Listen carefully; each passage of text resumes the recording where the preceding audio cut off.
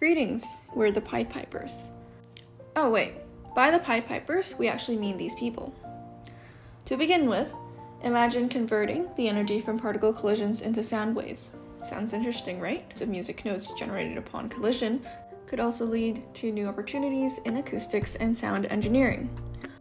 We plan to use bending magnets for separating the trajectories of different particles in the beamline, then using the Micromegas detectors to obtain their exact positions.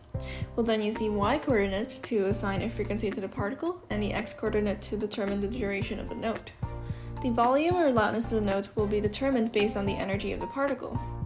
The frequency obtained will be converted into a MIDI note and played for the respective duration with the respective loudness. Our team plans to create a short documentary showcasing the beauty of particle physics through audiovisual means to evoke scientific curiosity in our communities. Thank you.